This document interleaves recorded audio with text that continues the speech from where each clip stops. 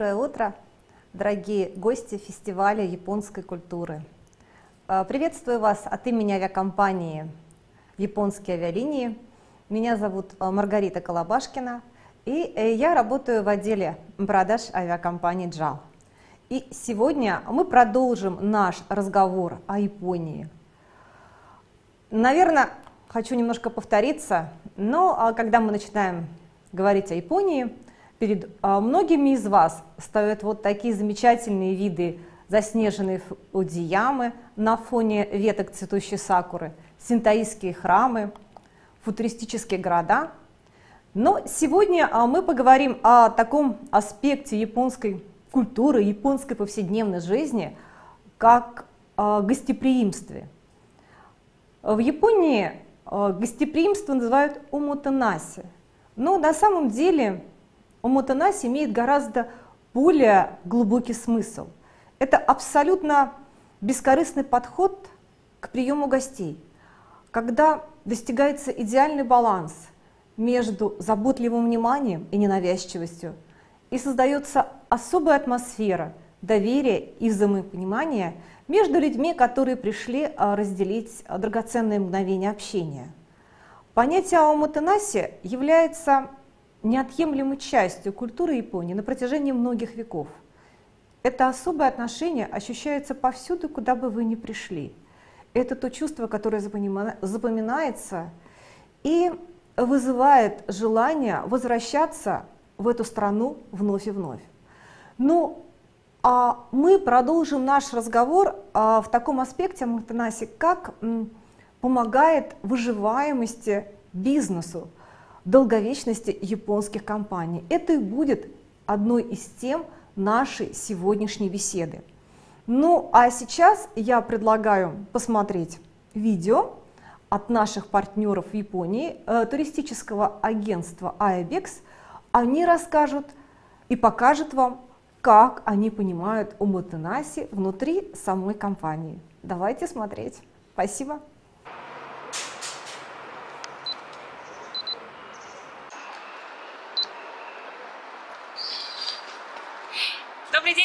Друзья! Многие из вас знают, что Япония знаменита своим гостеприимством, называемым оматенаши. Оматенаши незримо присутствует во всех сферах японской жизни, не только вот по отношению к гостям, но и по отношению ко всем окружающим. Сегодня мы покажем вам несколько повседневных ситуаций, в которых чувствуется оматенаши. Поехали! В Японии за привычным сервисом скрывается множество деталей, из которых складывается оматенаши.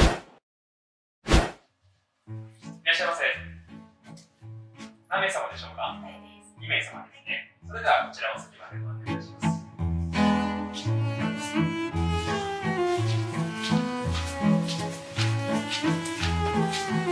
次はこちらです。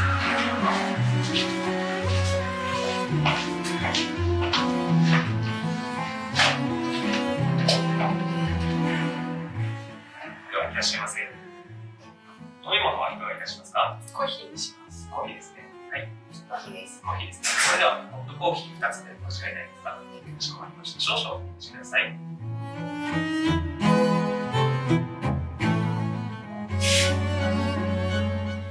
お待たせいたしました。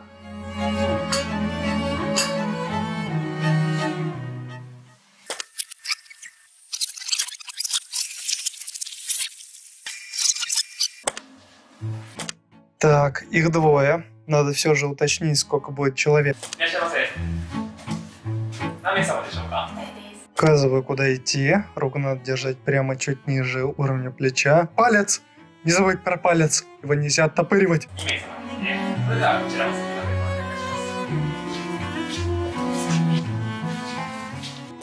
Идти нужно не сильно впереди, поглядывая на гостей, слегка оборачиваясь, чтобы гости не ощущали неловкость от моего взгляда.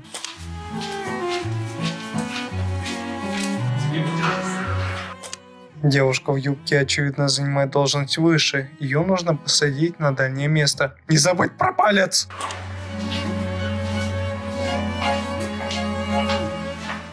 Надо еще раз поблагодарить за то, что пришли.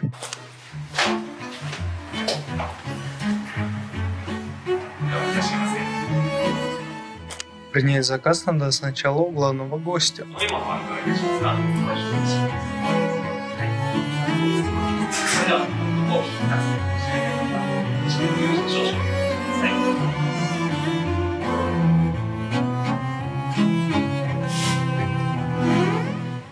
Поставить чашку сначала главному гостю, чашку развернуть ручкой вправо по отношению к гостю.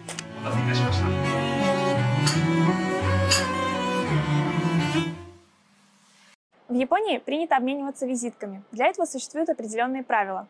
Говорят, что все японцы умеют это делать. Мы попросили нескольких незнакомых людей продемонстрировать это. Оказалось, что действительно почти у всех есть с собой визитки, и все умеют это делать правильно.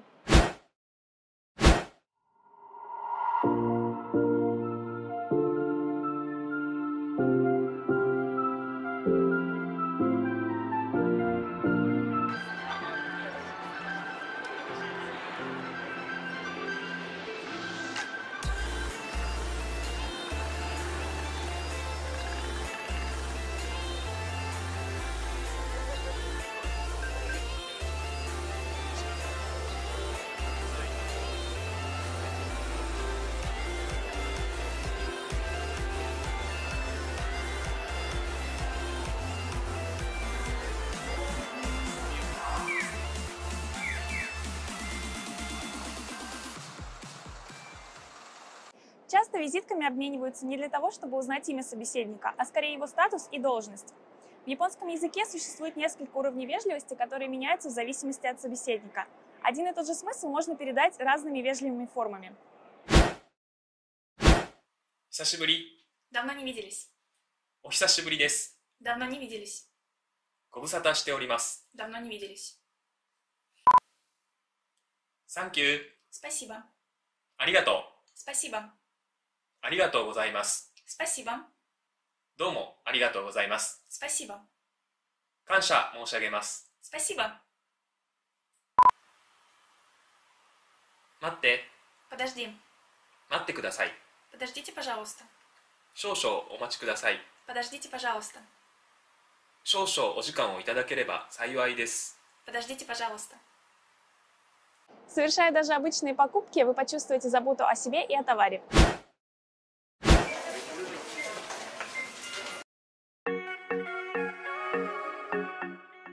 Распаковка покупок в Японии – это отдельный вид развлечения. Часто товары упаковывают в отдельный пакетик, прежде чем положить в пакетик. Иногда их даже упаковывает каждый отдельно. А в книжных магазинах книги заворачивают в бумажную обложку, чтобы они не испачкались и не истрепались. А если бы сегодня шел дождь, сверху на пакет надели бы еще и пластиковый пакет, чтобы они не промокли.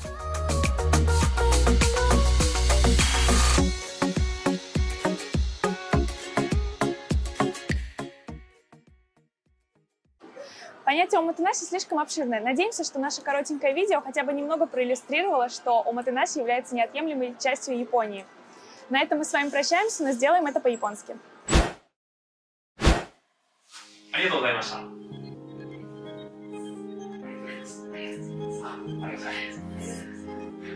がとうございます。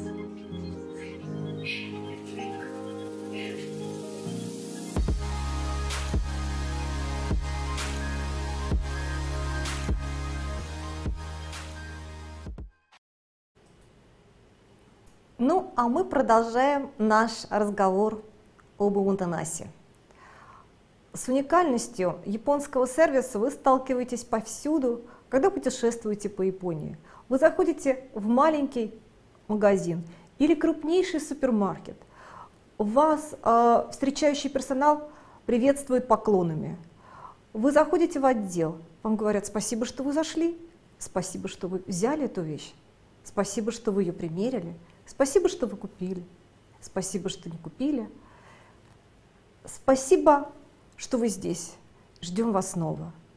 Когда вы заходите э, в предприятие общественного питания, вы замечаете, что персонал, который вас обслуживает, или не замечаете, потому что это делается очень естественно, пытается расположиться ниже уровня ваших глаз. То есть если гость сидит на стуле, то а, официант обычно а, присаживается на корточке.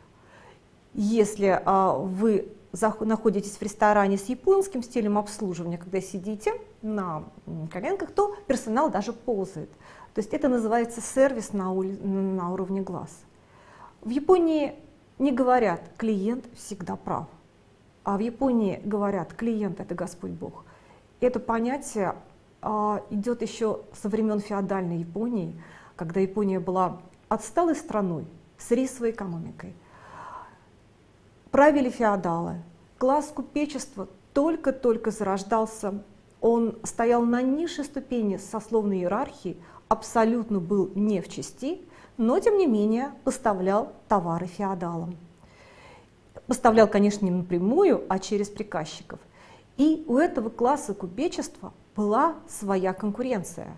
То есть им важно было уже в те времена, чтобы только их товары выбирали, чтобы они были эксклюзивными поставщиками. И они, конечно же, шли на всевозможные ухищрения. То есть они постарались предвосхищать заказы клиента и а, приносили не только то, что их, о чем их просили, это, конечно, тоже, но и также разные дополнения, возможно, что-то понравится. И такая политика, конечно, приводила к успеху. Она повторялась из года в год, из века в век, из поколения в поколение и дошла до наших дней.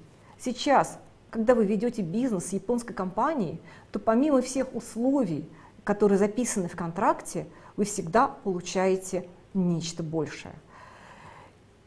И поэтому сегодня а, темой нашего, нашей беседы будет «Как Омутанаси помогает бизнесу». Мы рассмотрим обзор старейших компаний в мире, рассмотрим японский взгляд на бизнес, как формируется особое отношение к клиенту, ну и, конечно, немножечко попрактикуемся. Я вам расскажу, как проявляется омутанаси на примере нашей компании «Японские авиалинии». В мире существует около 5500 компаний, насчитывающих возраст более 200 лет. И среди этих компаний 57% находятся в Японии. А если мы рассмотрим компании с возрастом более 100 лет, то из них в Японии находится порядка более 27 тысяч.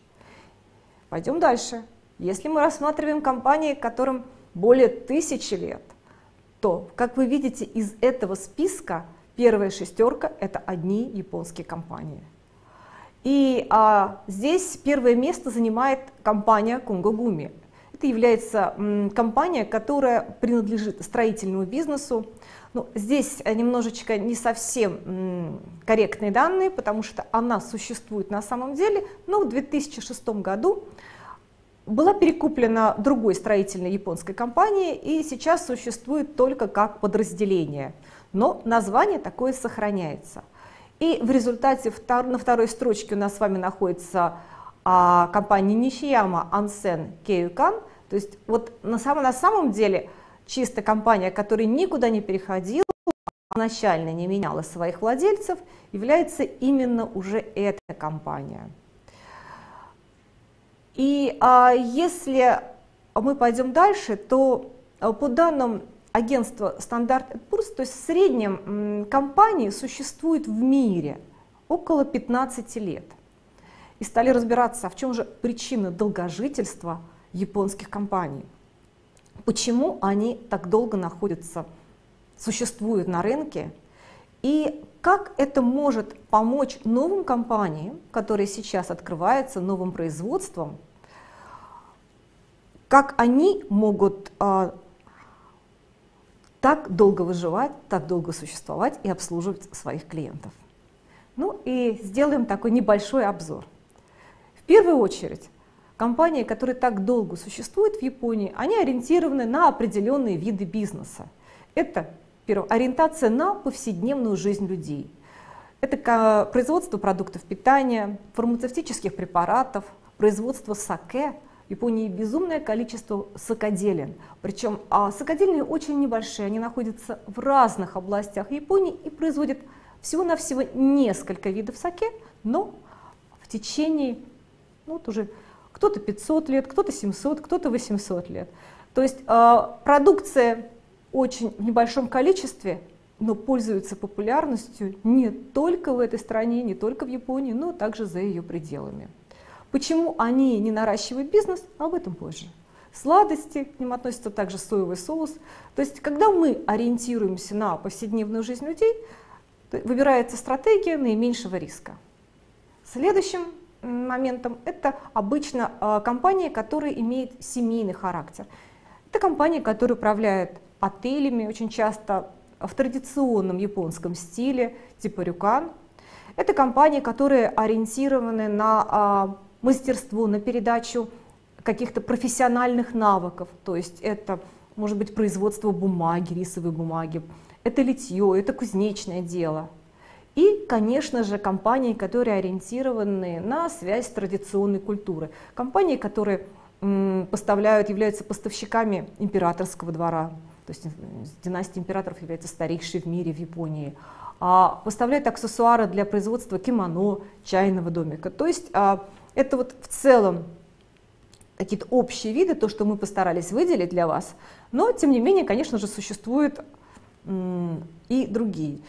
И а, теперь, наверное, я расскажу вам о том, не только о видах э, бизнеса, о том, что японцы вкладывают в выживаемость и какими способами они пользуются. Конечно, каждая компания, она не применяет все те способы, о которых мы скажем дальше. То есть применяется какая-то определенная стратегия, но вырабатывается в зависимости от э, того, кто стоит у руля. Э, в первую очередь, японская компания, которая ориентирована на выживаемость, издревле делала упор на устойчивость.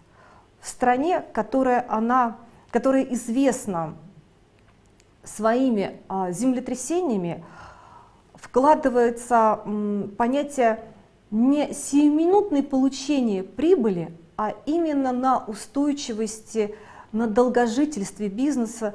А, очень важным является аспект преемственности, передачи поколения. А, в Японии даже есть такой термин э, шинесе, который означает старый магазин.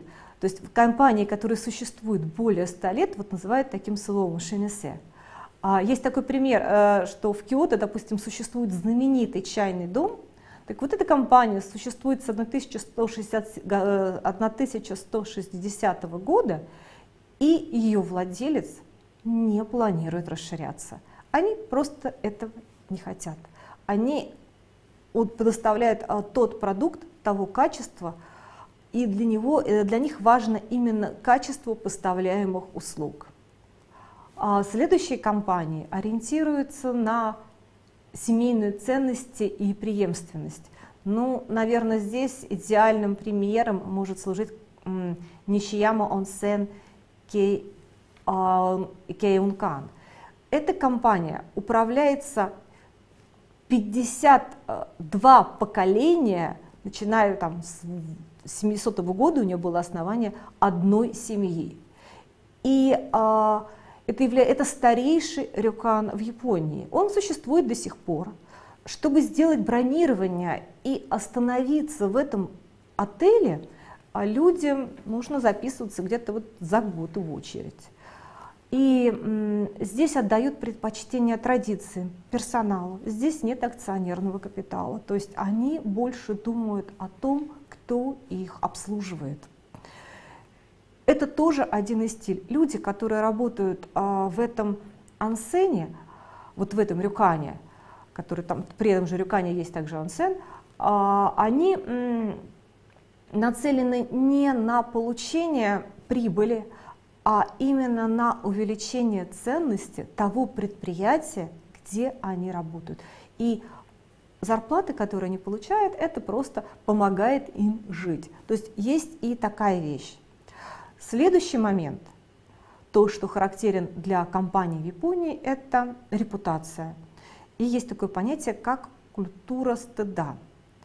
Кто чувствует стыд, тот знает долг, гласит японская пословица. Для японской культуры очень характерна обостренная восприимчивость к оценкам окружающих. Стыд а, возникает на неумении соблюдать баланс между ведением бизнеса и общепринятыми а, нормами поведения и правила в обществе. Закрытие компании или ее продажа считаются чем-то вроде провала, потому что владелец не справился и не обеспечил работой своих сотрудников. А, и поэтому во что бы ты подвел партнеров, и поэтому во что бы то ни стало, японская компания стремится продолжить свою работу. А, я хотела бы еще также рассказать, что такое нурен. Вообще это переводится как занавеска, которую вешают на дверь, и она а, в древности защищала от солнца. Но впоследствии на нее стали наносить название лавки или а, маленького ресторана где-то, и также герб. И есть в Японии такое понятие, как заморать норен, то есть это подмочить репутацию. Репутация – это э, нанести ущерб доброму имени компании, поэтому очень важно в Японии считается хранить марку, не заморать норен. И именно поэтому а, очень многие, которые начинают сотрудничать с японскими компаниями, особенно европейские компании, они а, порой не могут понять стратегии поведения японских партнеров, когда, скажем, а, если при выборе поставщиков услуг, японская компания, она, как правило, не выбирает какие-то самые бюджетные варианты, а в своих решениях опирается на партнеров, с которыми уже налажены долгие связи, и они знают, что те никогда не подведут. Это просто другой взгляд на бизнес, другой вид ведения бизнеса. Есть а, еще одна такая, такой момент, а, так как Япония долгое время была закрытой страной, и европейцев туда пустили где-то в середине 17 века, и они могли вести торговлю из Японии только на определенных территориях, а сами японцы под страхом смерти не могли а, покидать страну, то японцы, в принципе, любая японская компания, она привыкла рассчитывать только на свои собственные силы, и это, конечно, приводит а, свои плоды. Следующий момент можно назвать основная компетенция. А вот тут я хочу а, привести такой пример, что компания, когда образуется, она начинает а, работать в какой-то определенной сфере деятельности, производить продукты, но обстоятельства меняются, жизнь не останавливается, то есть все течет, все идет вперед. И вот примером является компания Nintendo, всем нами хорошо известная.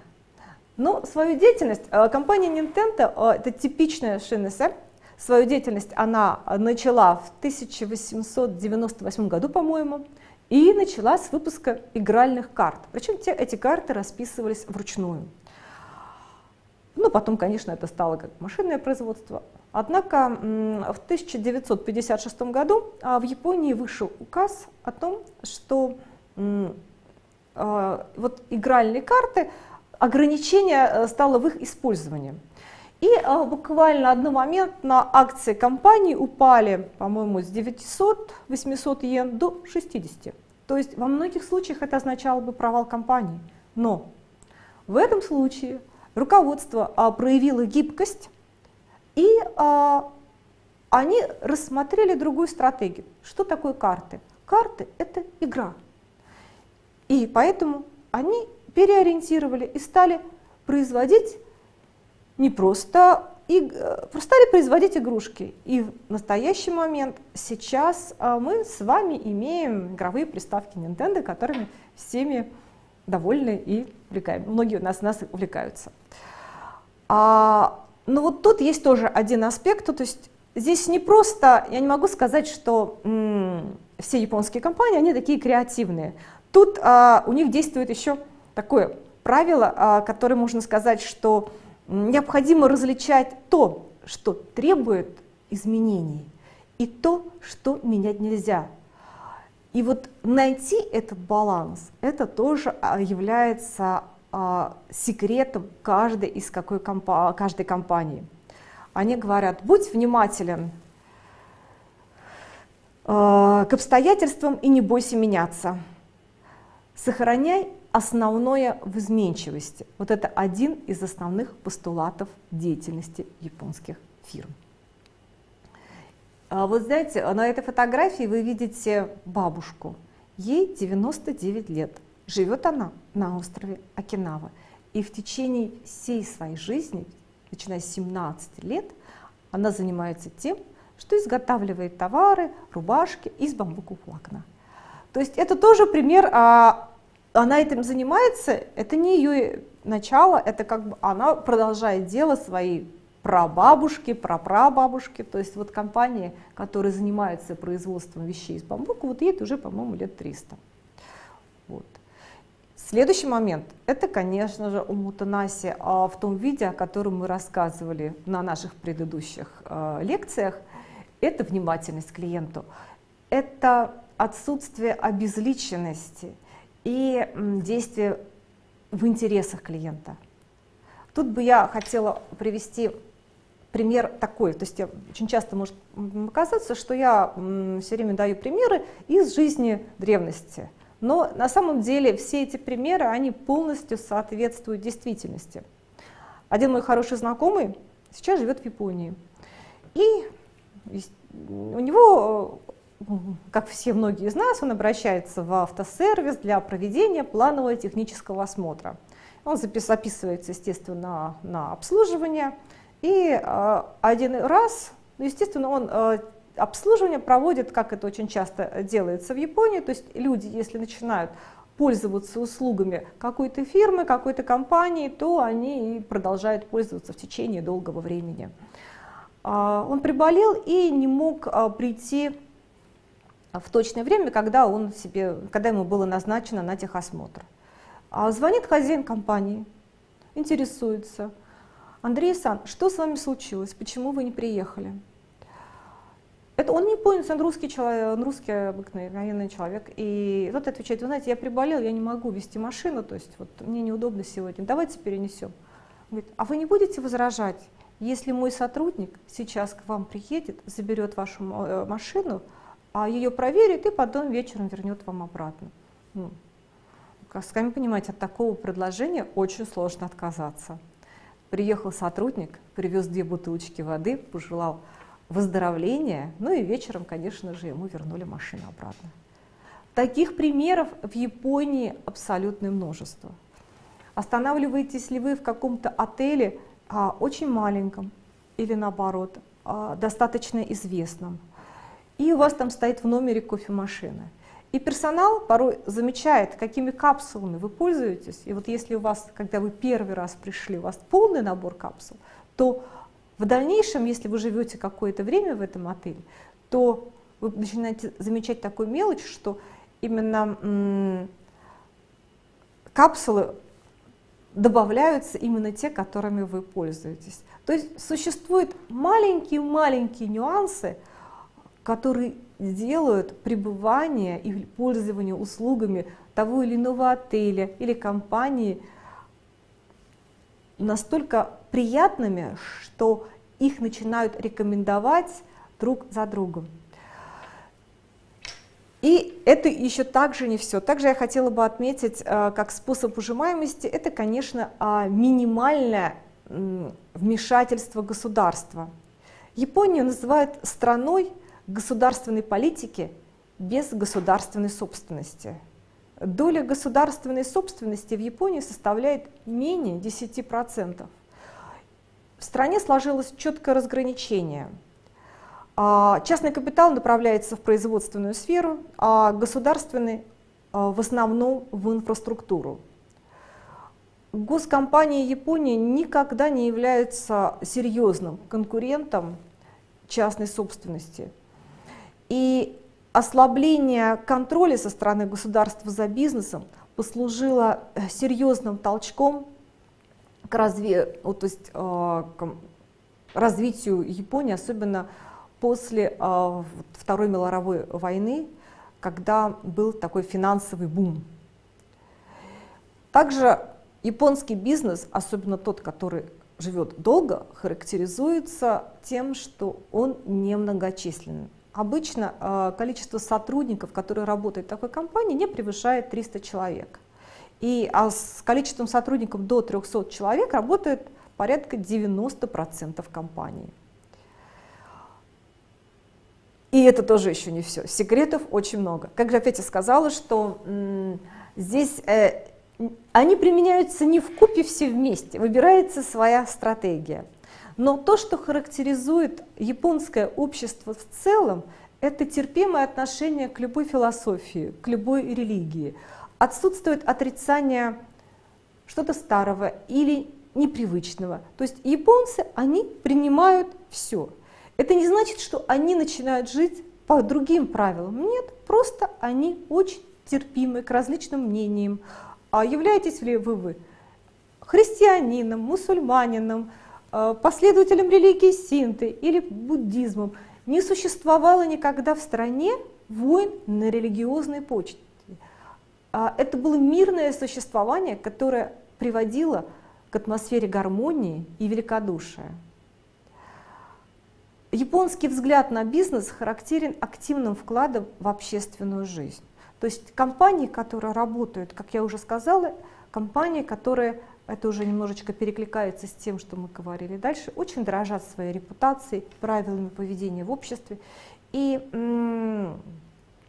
а вы знаете, тут а, я могу так сказать, что а, в японской компании внутри есть, конечно, иерархия, но для нее совершенно обычным является, что любой президент компании выполняет обязанности простых сотрудников. То есть вы можете видеть совершенно... Это нормальная картина в Японии, когда президент компании, допустим, подметает э, листву, которая упала перед его офисом. Это абсолютно нормально, а тем не менее его сотрудники занимаются, выполняют свои рабочие обязанности. Э, я могу рассказать тоже наш пример, который вот был, случился а, совершенно недавно.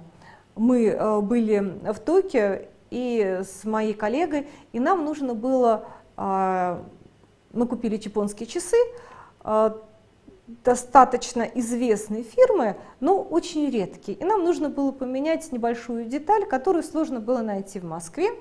И мы нашли компанию в Японии, пришли в Токио в офис этой компании. И так получилось, что мы встретили президента – ну, ему рассказали, зачем мы пожаловали, и президент сказал, ой, он очень удивился, что его продукцию используют в России, а, ну, объяснил, что, к сожалению, вот в том месте, куда мы пришли, это находится офис продаж, а нам нужно немножечко в другой офис. Так помимо того, что не просто сказал, куда нам идти, а проводил и был очень признателен и благодарил нас за то, что его продукцию используют в России. Это было действительно очень приятно. В Японии очень важно существование в гармонии с окружающей средой. Я немножечко даже не буду останавливаться на этом процессе, потому что это отдельная большая тема, которую, наверное, а, в течение всего фестиваля в разных случаях освещали мои коллеги. А, также очень популярной и актуальной темой используется принцип бережливости, так называемые кайзен-технологии, которые позволяют сохранять электроэнергию, опять же, э, не портить окружающую среду. И тут обязательно нужно проводить различия между экономией и скупостью. То есть экономия, японские компании – сэкономленные средства а в основном используют для будущих инвестиций, а не для накопления или, как говорят, не для того, чтобы держать деньги под матрасом. Ну и, наверное, одним из самых важных моментов является еще философия. Практически у многих компаний существует своя философия, свой жизненный уклад, особенно у тех, которые существуют в течение длительного времени. У тех компаний, которые управляются семейно, отец говорит сыну, что на что передает заветы, на что надо ориентироваться в, жизни, в бизнесе, что является главным, то есть при а, каких-то изменяющихся обстоятельствах, что должно оставаться неизменным. Но это был такой обзор деятельности старейших компаний. Ну а теперь я, наверное, приведу конкретный пример. И так как все-таки я выступаю от имени авиакомпании «Японские авиалинии», то, наверное, я хочу вам рассказать о нашей авиакомпании Japan Airlines. А я хочу рассказать, а, как с нашей компанией можно долететь до Японии – Мы не являемся старейшей компанией, ну, потому что все-таки область авиации, ей еще и нет такого количества лет, ей еще и тысячи лет, так пока не исполнилось. Основание у нас, мы основались в 1951 году, а первый рейс между а, Москвой и Токио авиакомпания выполнила в 1967 году. Авиакомпания у нас является крупнейшей в Европе, и в мире существует три больших авиационных альянса.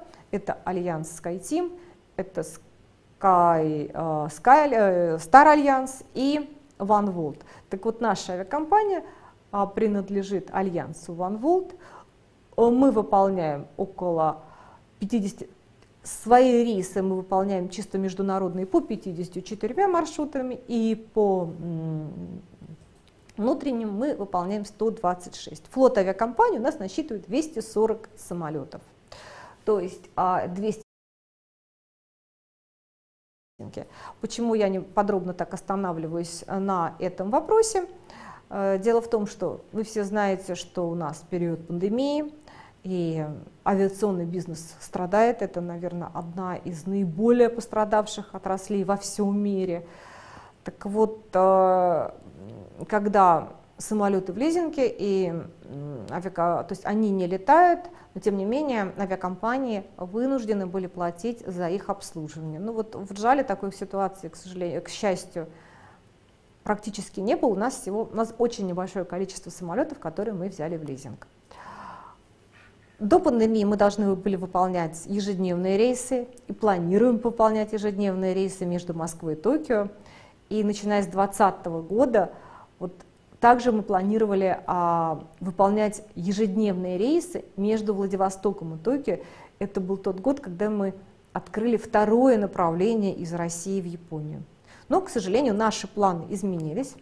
Однако, все равно а в настоящий момент – так как сообщение между Россией и Японией открыто, мы выполняем еженедельные рейсы из Москвы в Токио, мы летим с посадкой в Хельсинки, а обратно у нас прямой рейс.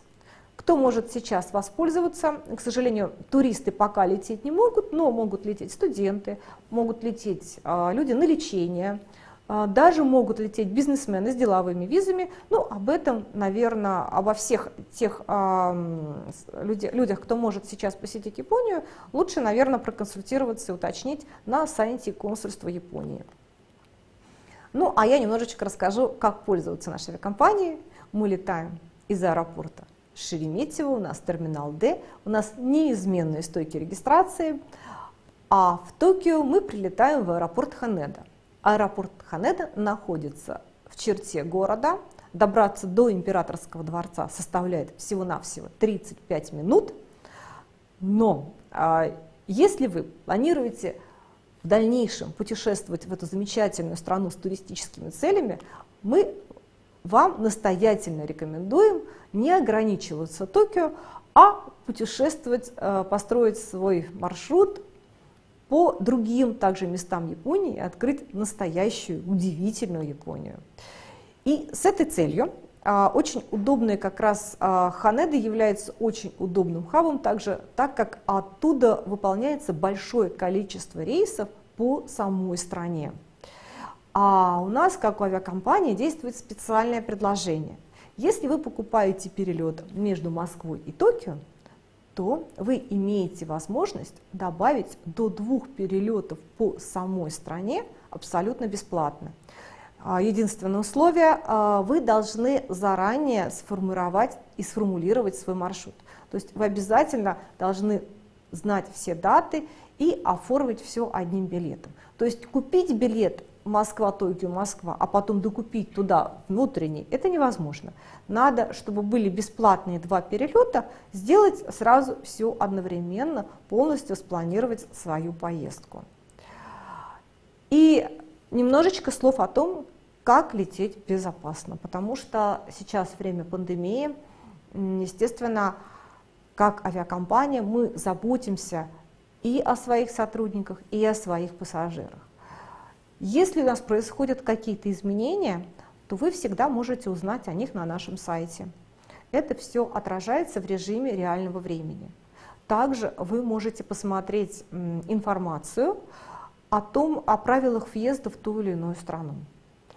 Я хочу сказать, что очень многие авиакомпании при наступлении пандемии не выполняли свои обязательства перед клиентами, то есть если клиентам нужно было вернуть э, деньги за купленные билеты, то они использовали ваучеры или другие схемы. Э, как я уже говорила, японская компания, хоть на мы и не являемся старейшей японской компанией, мы очень дорожим своей репутацией. А, э, мы всегда возвращали деньги. Мы никогда не применяли ваучеры, то есть если пассажир нам оплачивали, то также мы и все возвращаем. И а, чтобы сейчас, сейчас у нас действует такая акция.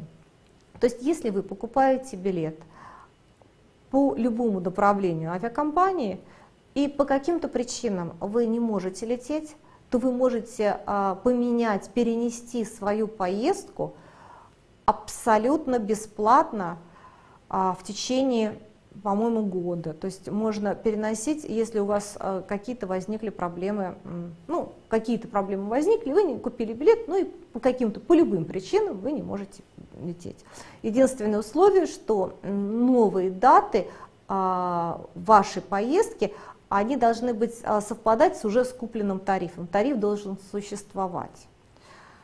Ну, Однако также мы просим наших пассажиров соблюдать некоторые правила, вот как следить за состоянием своего здоровья хотя бы вот за две недели до начала поездки. И если вам все-таки не здоровится, мы просим оставаться дома.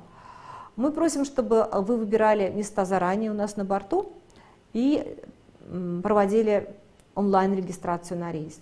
И также мы просим а, по возможности брать а, меньше мест багажа. У нас не изменилась норма провоза багажа, нет, мы просто это вот как бы чисто пожелание от авиакомпании. Почему оно вызвано? С тем, что когда у людей много багажа, то возникает а, некоторая сплоченность, как а, если он, человек берет много с собой багажа на борт, то а, возникает возможность а, больших контактов все-таки, чтобы избежать контактирования с другими пассажирами. Во всех аэропортах Японии у нас установлены прозрачные перегородки, используются санитайзеры, а, поверхности часто дезинфицируются, и мы просим наших пассажиров всегда носить защитные маски на борту и соблюдать социальную дистанцию. В полете без масок может находиться только а, младенцы до двух лет. И немножечко я хотела бы рассказать о о том, что происходит, как мы сейчас летим. У нас весь персонал в масках, перчатках. А если нужно и вы считаете это необходимым, а, вам предоставят антибактериальные салфетки. Каждый самолет у нас дезинфицируется во время ночной стоянки. И немножечко я бы хотела чуть-чуть подробнее рассказать о циркуляции воздуха на борту. Летать, а, да, летать безопасно потому что воздух а, в салоне самолета меняется каждые 2-3 минуты, а циркулирует он четко сверху вниз. Вот на этой схеме вы видите, как происходит циркуляция воздуха. А, изначально воздух забирается извне, обрабатывается, проходит через а, блок кондиционирования, нагревается и поступает в кабину воздушного судна. Далее четко сверху вниз он а, спускается наверх, и вот а, внизу каждого кресла на слайде это обозначено такой решеточкой, отработанный воздух спускается вниз. Машинное отделение, часть его, приблизительно 30%, выходит наружу, а 70% а, проходит через HEPA-фильтры, которые задерживают порядка 99,9% а, микробов, вирусов, очищается и поступает обратно в самолет. То есть а, риск а, контактов, а, риск заражения с помощью воздуха на борту, он минимален. Остается только меньше общаться с вашими соседями, то есть, вот, скажем, и находиться в масках. То есть а, быть без масок, без масок можно только во время приема пищи.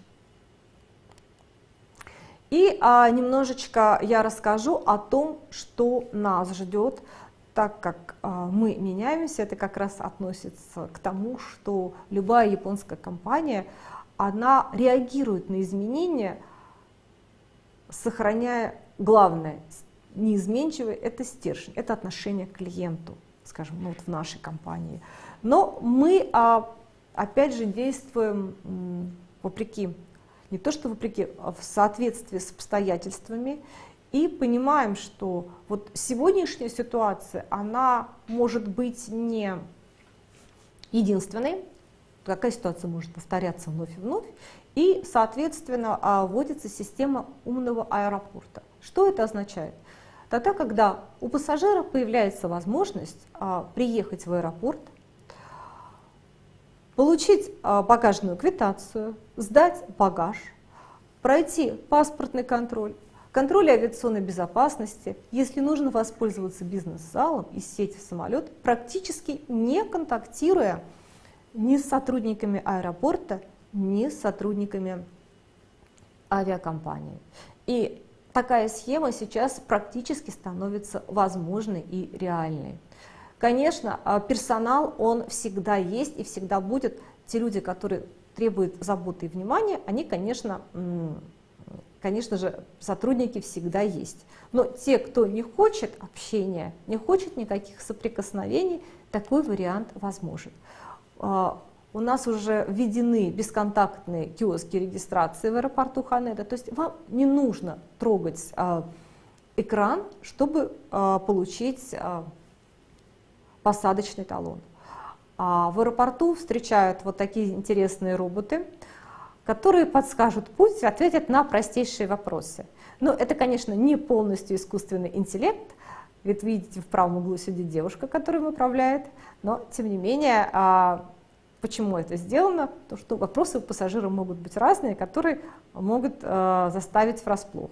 Ну, в настоящее время они говорят только по-английски, по-японски, но надеемся, что они заговорят на всех языках в ближайшее время. А схема умного аэропорта выглядит таким образом, что пассажир бесконтактно получает покаженный талон, также он получает а, бирку на багаж, э, на багаж, посадочный талон, бирку на багаж, сдает свой багаж вот в такие боксы, а, опять же складывая полученную бирку, где сканируется багаж, чтобы там не было ничего запрещенного, проходит через э, схему идентификации, когда вы проходите паспортный контроль, то есть вы просто подходите, у вас сканируется лицо и идете дальше. Вот таким образом будет действовать а, схема умного аэропорта в дальнейшем. И, наверное, еще такие следующие технологии, может быть сказать, это то, что а, технологии будущего. Ну, а часть из них уже применяется сейчас – это, допустим, э, перевозка грузов а, с помощью дронов. Сейчас э, она была уже введена, начиная с октября, в самой Японии, когда перевозились грузы между двумя больницами. И в 2023-2025 годах планируется перевозка людей. Она будет осуществляться на разные расстояния, на 30, на 100 километров. И управляться будет из центра управления полетом на Земле. Ну, а, между нашими странами летает очень замечательный самолет Boeing 787. У нас на борту 195 мест, и мы предлагаем три класса обслуживания – бизнес, эконом и премиум. Вот таким образом у нас выглядит бизнес-класс, который полностью раскладывается. Вы можете в течение всего полета, в течение 9 часов а, проводить время в уютной кроватке, просто спать. Каждым креслом э, это частное индивидуальное пространство с индивидуальным доступом. И наш эконом-класс, то есть это предмет нашей гордости.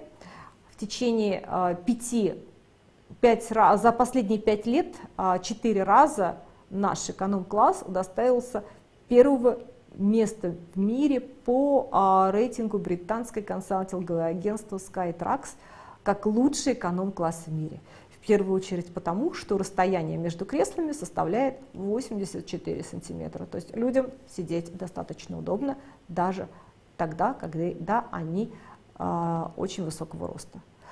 Мы не предлагаем безбагажных тарифов, Все а, наши билеты эконом-класса разрешают провести два места багажа по 23 килограмма, то есть 46 килограмм. И а, в бизнес-классе можно привезти 96 килограмм. Это очень удобно даже для студентов, которые едут учиться и могут захватить с собой большое количество учебников. На борту у нас есть индивидуальная система развлечений. Предлагаются фильмы на русском языке, порядка 30 штук. Есть даже комиксы манга. На всех у нас рейсах а, есть Wi-Fi, причем Wi-Fi очень хорошего качества. Вы можете и скачивать фильмы, и слушать музыку. Стоимость этой услуги составляет а, порядка 19 долларов за весь перелет. На внутренних рейсах по Японии Wi-Fi предоставляется бесплатно. И а, на борту мы предлагаем для бизнес-класса блюда, эксклюзивные блюда японской и европейской кухни, точно так же, как и для экономического класса. То есть а, единственное, что а, разными, ну, то есть, естественно, это будут бывают разные наборы, все это можно заказать заранее до вылета. И, конечно же, наши девушки, которые предлагают, вот, где вы можете уже, а, ступив на борт авиакомпании японские авиалинии, понять, что вы находитесь в Японии. Омутанаси начинается прям с покупки авиалета и затрагивает такие аспекты, как встреча в аэропорту, как я уже сказала, что можно пройти регистрацию на рейс абсолютно без контакта, но в любом случае есть девушки, которые всегда готовы и рады нам помочь.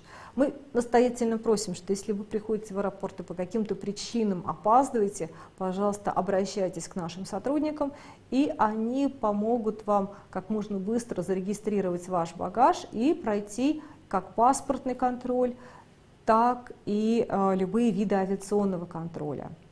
Если какие-то вы везете в своем багаже вещи, которые требуют дополнительной упаковки, пожалуйста, просто проинформируйте наших сотрудников, и они помогут сами, они помогут дополнительно э, упаковать или сделать то, что надо.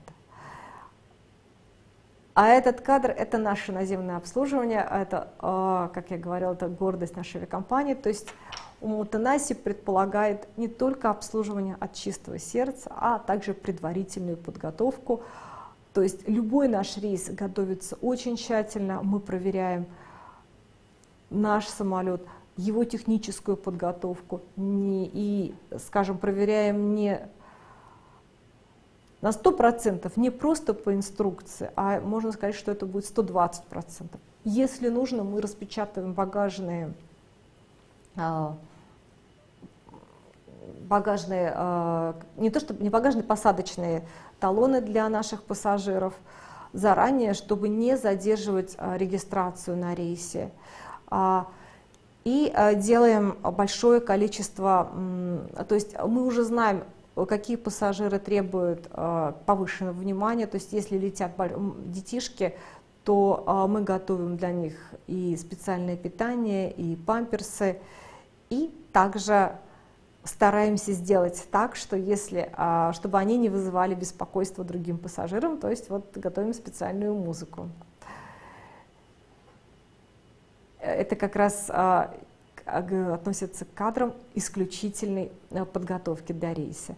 И а, во время рейса, как я уже сказала, что комфорт это очень важен, он а, продумывается в мельчайших деталях, и, допустим, при создании кресел, наших знаменитых кресел эконом-класса, мы учитывали мнение не только тех людей, которые производят, а также наших пассажиров, наших сотрудников, и тестировали многократно, чтобы им было удобно. Ну, наверное, рассказ про наших девушек на борту, как они обслуживают, это просто отдельная история, которая служит, а, заслуживает еще большего внимания. Но могу только так сказать, что, как я уже говорила, а, приводила такие примеры в предыдущих лекциях, то есть приходит ребенок, это случай были совершенно недавно, который плачет и несет с собой шарик, в виде собачки ему только что купила мама, но, к сожалению, шарики на борт провозить нельзя. А нашей девушке это не стандартная ситуация. И, наверное, у Мутенаси это и есть, а, скажем, а, способ взаимодействия с клиентом, вне стандартной ситуации. И они просто предлагают ему сделать фотографию, любоваться этой фотографией во время рейса, а шарик на данный момент просто ну, сдувается, так как его невозможно привести с собой на борт. И получается возникает, возникает это некий компромисс между правилами и удовлетворением клиента. У нас считается зазорным нажать э, кнопку вызова стюардессы. Стюардессы предугадывают желание клиента, и, а, допустим, если вы Обычно мы предлагаем горячее питание через час после взлета. Но если вы э, спите, то к вас никто не побеспокоит, если вы лежите с закрытыми глазами. А есть такой секрет, ваше кресло отмечает специальным стикером, и как только вы открываете глаза, перед вами наша стоит э, девушка и предлагает вам тот или иной выбор питания. То есть и все наши пассажиры, как правило, очень удивляются, откуда же они узнали. Но вот это существуют их э, такие небольшие секреты в обслуживании клиентов. И а, у нас проходят многочисленные тренинги, то есть персонал это является, как я уже сказала, ценностью не только самых старых, но и молодых японских компаний, а, потому что проходит большое время на обучение персонала, на то, чтобы... И персонал, как правило, в японской компании работает не на то, чтобы получить прибыль, а понимает, работает на то, чтобы увеличить ценность той компании, в которой он работает. И а, по поводу бортового питания, как я уже вам впереди показывала, какой вид бортового питания мы предлагаем, а так вот, опять же, рассмотрю, что мы всегда обращаем внимание на комментарии наших пассажиров. И стюардессы заметили, что когда пассажиры заказывают мясо, то когда его разогревают, оно оказывается немножечко таким а, жестковатым. Они передали поварам эту, эти рекомендации, то есть эти жалобы, и э, сейчас а, они те придумали а, другой способ подачи. А, мясо на борт разогревается вместе со сливочным маслом, и получается такая очень хрустящая, интересная корочка, и все остаются довольны. Это тоже опять один из таких примеров то, что у нас происходит. И, э, конечно, я не могу не остановиться, что помимо предварительной подготовки в нее входят также и стандартные сервисы. Вот вы здесь видите на крайней правой картинке, а, как в нашей авиакомпании, я вам говорила примеры, что когда гость заходит куда-то покушать, то официанты располагаются, как правило, стараются найти свое положение ниже уровня глаз клиента. Это повсеместно в Японии, то есть точно так же, как Э, мы общаемся с нашими пассажирами, вы никогда не увидите стюардессы, которая склонилась над клиентом, она постарается всегда принять такое положение, как, которое описывается словами «сервис на уровне глаз». А в середине вы видите девушку, она стоит и сложила, у нее правая рука закрыта левой. Почему это такое стандартное положение? То есть вы никогда не видите в руках э, телефон, куда там смотрит или играет, так э, стоит небрежно. Это очень тоже важно, именно внешний вид. И вот таким образом вот это положение, оно еще идет опять же традиции древней Японии, когда у самураев а, левая рука, она была всегда закрыта правой. Почему? Потому что, когда они посещали чайные домики, они откладывали свой меч, а, вернее, они, а, руку, правой руке был меч. И вот когда они клали левую руку на правую, они таким образом говорили, что мы пришли к вам с добрыми намерениями, и мы просто хотим пообщаться, поэтому как бы люди не беспокоились. Это так называемый язык знаков. А, очень важным аспектом является подача документов.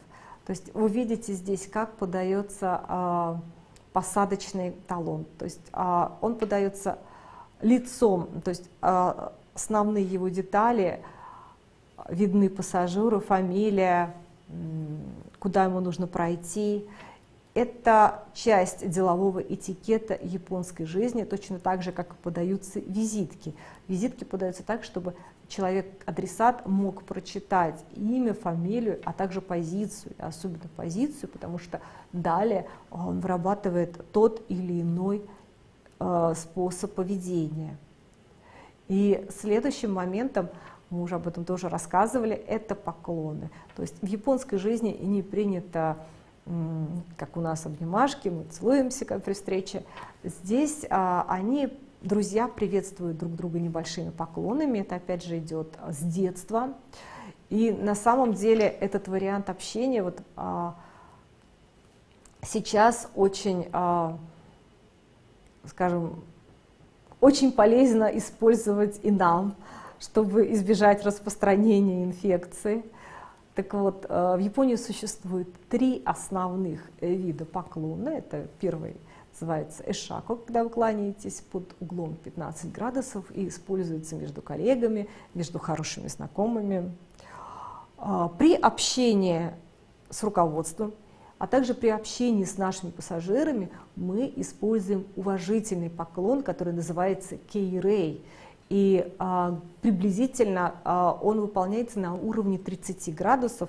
И как это делается? Вы а, перед собой мысленно отмеряете расстояние в метр-полтора и а, пытаетесь а, склонить немножечко вперед туловище именно к этой отметке. И а, при исполнении поклона очень важно не смотреть в глаза собеседнику, не смущать его. Ну, а третий называется это поклон сайки-рей. А, это поклон глубокой признательности, глубокого извинения. Это вот если а, вы приветствуете императора, как правило, или наоборот, э, вы совершили какой-то проступок, и вам нужно принести глубочайшие извинения, и вот тогда в этом случае выполняется поклон Сай Кирей. Ну и, наверное, я уже э, подхожу к концу нашего выступления. А каждый рейс э, нашей компании провожает команда, которая его обслуживает. Вообще процесс прощания, процесс окончание встречи, это также является очень важным моментом э, в японском деловом общении. И а, по нему как раз можно очень эм, сделать э, важное мнение о ценности встречи. То есть каждый рейс, который обслуживает наша команда, она его провожает. И все наши пассажиры, многие из них смотрят в окошко, их видят, и они машут им вслед. А если вы пришли, немножечко отвлекаясь от темы авиакомпании, если вы пришли на какую-то встречу с японцами, то принимающая страна обязательно вас проводит до двери и будет стоять и ждать, пока вы не скроетесь с глаз. А вот если и э, японские клиенты, они такие бывают очень требовательные, и вот они уже отошли, дошли далеко, и они, многие из них обернутся и посмотрят, а стоят хозяева их э, провожают или нет. И вот если их не оказывается, они тоже делают со свое мнение о продолжении дальнейшей работы. И вот такие вещи тоже бывают.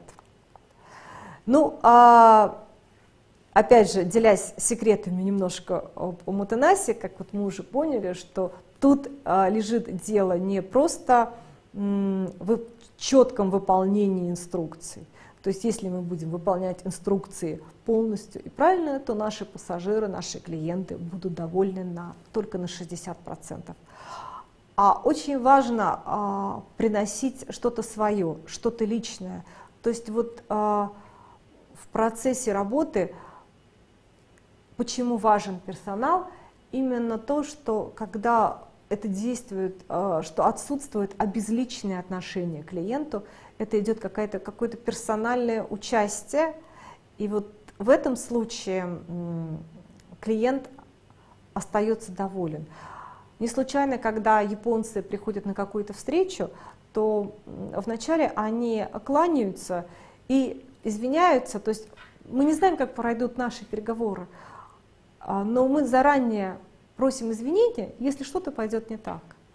И даже если а, при посещении каких-то э, предприятий или бизнеса, или вы что-то понимаете, что идет что-то не так, то они так мило извиняются, так мило общаются, так мило пытаются исправить положение, что, а, скажем, ну, грубо говоря, языком математики минус меняется на плюс.